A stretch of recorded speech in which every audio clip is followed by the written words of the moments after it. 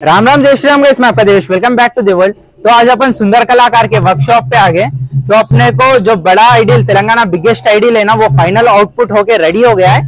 तो आप लोग लास्ट तक देखोगे इस वीडियो लाइक शेयर सब्सक्राइब मारो कमेंट में। जय श्री राम जय श्री गणेश बोल के डालो।